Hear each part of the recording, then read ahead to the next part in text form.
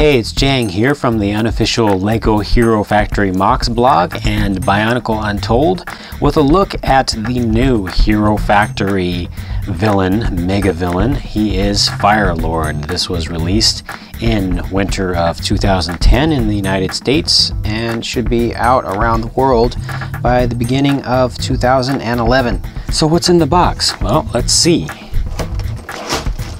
Ta-da! Big ol' instruction book. A lot of pages to that. Look at that. Final picture of him is on page 40. 40. Oh man, this is going to take a while. And then for parts, we have two bags. Here's your large parts bag. Small parts I'm going to open up into a separate container. Now let me go ahead and look in the smaller parts bin first. I'm not going to go through and show you every single part and lay them all out. You can go online and I'm sure that you'll find plenty of folks who will be posting up photographs of all the individual parts from all sorts of angles. I'm just going to do this from kind of a high level.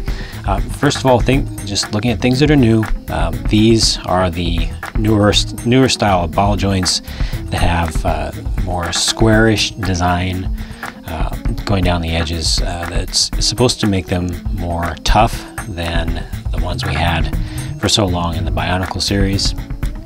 Here's just a side-by-side -side comparison of the two. This is the old Bionicle style. This is the newer style from the new Hero Factory sets. And you can just see up towards the ends, the newer style has a lot more material. And these older ones, particularly in the more recent years with the more brittle plastic, they would often break right down, right down in here uh, when you just try to uh, put a ball into them. So this is uh, a, just a physically superior design. Hopefully it'll last a little bit longer by comparison. But other thing that's in here would be this guy. There's two of them.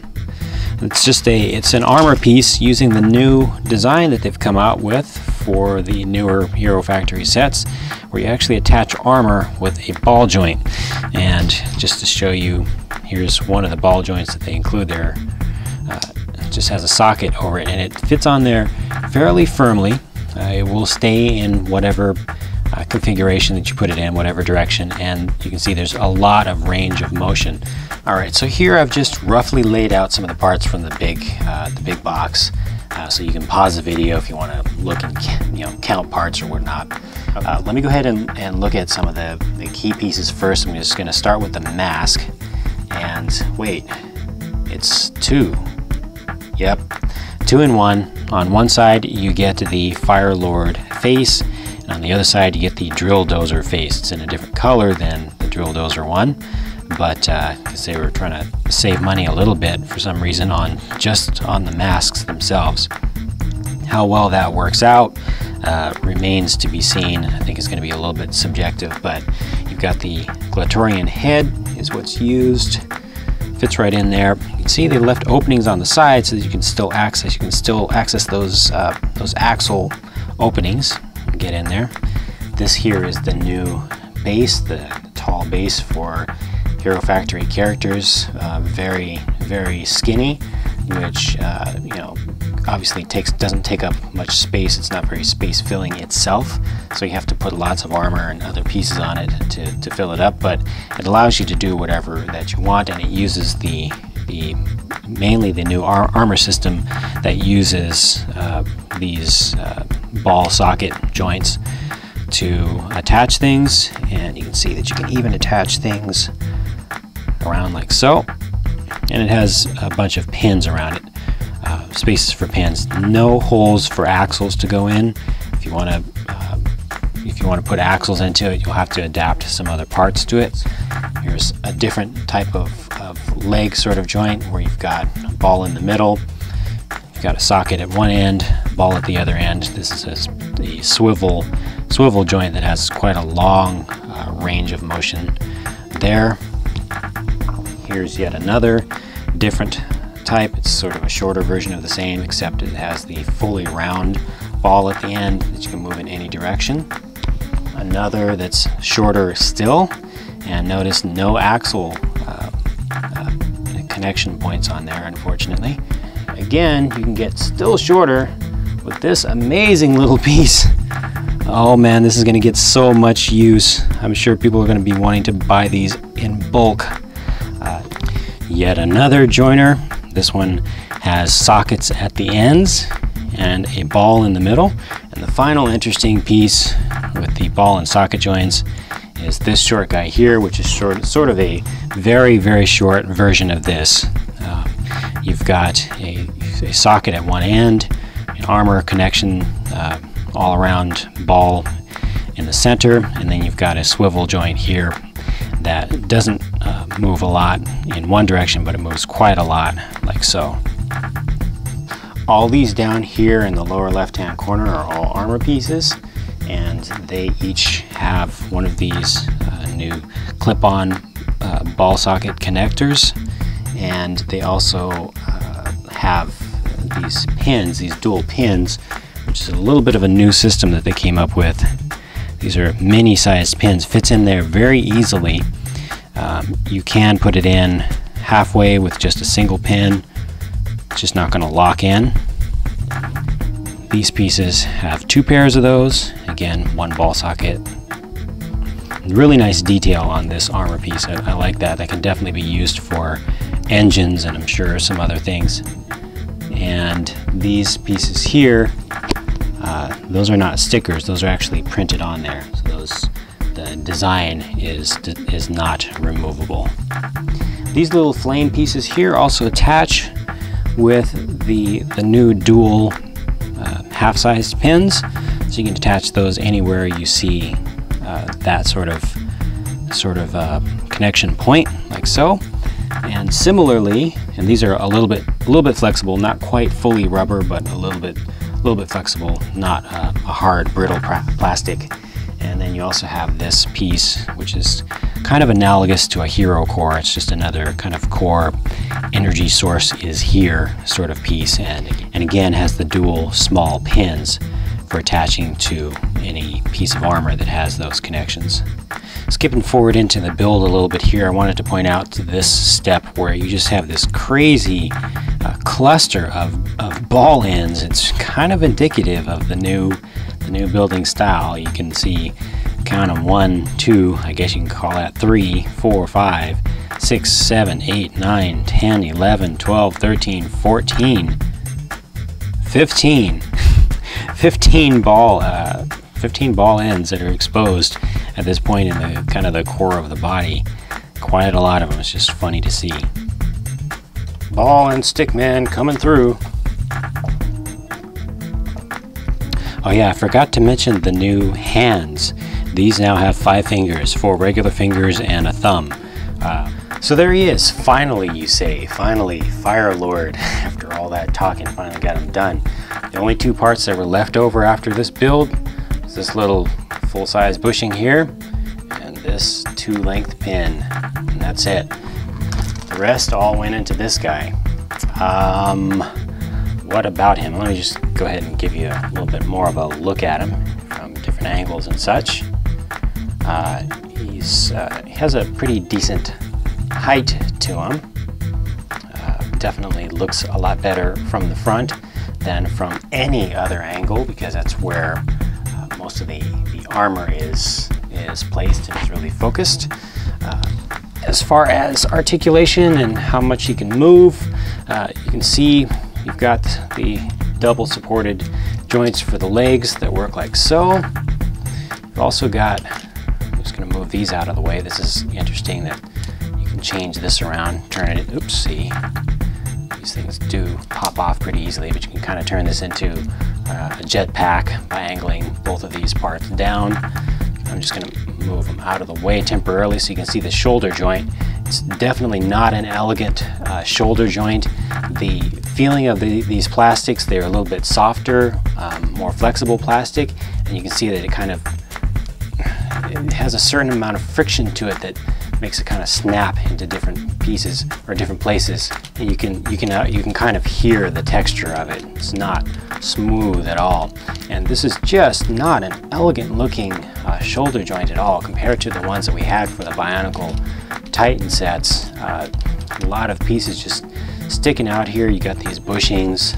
Uh, not so good. Uh, also, there's a lot of motion to this whole back piece. There's a lot of flexibility in the way that it was built, which makes it so that these two socket connections can actually clash into each other. Down here, this is fully, fully articulated, fully articulated at the hand. Uh, but plenty of plenty of posing that you can do with the arms. You can you just can't rotate them out so much like this. Yeah, I'm not finding a not finding a place that they'll really move through that way. Uh, the legs, going back to the legs, the knee joints, you can go from way forward to way back. Plenty of range of motion there. Uh, they can also tilt sideways just slightly, like so. But you can see that the they're parallel parallel pieces, so the the foot ends up always staying parallel uh, to the alignment of the, the knee joint balls. And the front to back, you can go from about like this to like this.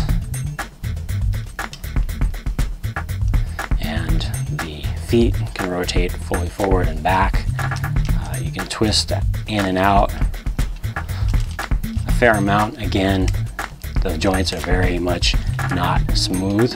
Uh, over here on the side that has the Ferno weapon, uh, it's very nice that they included hands for both sides, even though on this side you can't really see the hand from one side. You can just see this open space in here, and there's room for a, a pin to go through there. But if you turn it around, there's the hand. It doesn't really look like he's holding this weapon. It's more just attached to his forearm and he has a little bit of um, armor on this one side here. Looking up at the head, really good things going on here. I like that they use these small pieces down below, small pieces of armor to help uh, just fill in the spaces down here. Like I said, these pieces out here that are kind of the, the jet fire generators look great, great detail on them. I like the fact that they can move the head itself the mask has a pretty good, uh, pretty good look to it. Nice detail on it. It's definitely evil. They added these these horns, which can definitely be great pieces for MOCing with. And uh, you know you've got the the trans translucent Glatorian head, so some light comes through there. They have left it open enough on the back so that you can get light coming from behind. But speaking of from behind, you see this head. So imagine the villain is walking away from you and he's also looking right at you with a completely different face. Uh, as far as stories are concerned, in order to explain that away, you're gonna have to say that he's got two characters in him, like the soul of, of Drill Dozer is in Fire Lord also. Um, there's, there's just no way to avoid seeing that face. It's so obvious on the back. I mean, if I was to rotate these joints around, this now looks like it could be a character, right? And there's his face. That's kind of funny. And uh, beyond just that, uh, as far as the aesthetics of the, the, the character from behind, uh, all the ball joints and all these skinny pieces just hanging out kind of makes it look like an old erector set almost. Um, really not appreciating the, the the finish of it from any side other than from the front. And even from the front, you've got these pieces. I don't know why they didn't make these in black or give some extra pieces to fill in the thighs, but thighs should not be super skinny at the top, and they should not be uh, bony like that, no matter what. I mean, just for the theme that they're, the, just for the theme that they're going for here, uh, with a powerful, mega bad guy, super villain. Uh, they really just let the whole thing go with those those legs. From the sides, on the outside, looks good. Got uh, armor piece over the foot like this. Then you go around here. He has two heels, and they're just sticking out, just raw, plain, Technic-looking pieces. Again, not very finished. All in all, this was actually fun to build with all the the pieces that snap together. Uh, do not like the feeling of these new joints at all, and uh, the the Uh, some of the new pieces that they included are definitely going to be very usable for MOC making, but as a set, Fire Lord himself uh, just seems unfinished to me. Really seems unfinished. Uh, from one angle, if you look at him about like this, looks great. As soon as you do that, just really falls apart. Uh, one other little thing I want to add in here, the Zamor Sphere launcher. This is using the new um, slightly modified dark pearl gray. I don't believe that these parts have been made in that color before. The sphere itself, or the meteor, whatever you want to call it, is a beautiful new piece, fire, um, fire style. It's all marbled up. Um, every single one is going to be unique uh, because of the way that they mix the plastics together. That's a really nice looking piece. The rest of it, there you go. Fire Lord, Lego Hero Factory, Winter 2010 release, also called the 2011 First Series. That's him. I'm Jang from the unofficial LEGO Hero Factory MOCs blog and Bionicle Untold. Please subscribe to this channel on YouTube to see more set reviews over time and to see my MOCs. Also check out the blogs, and I'll talk to you again soon.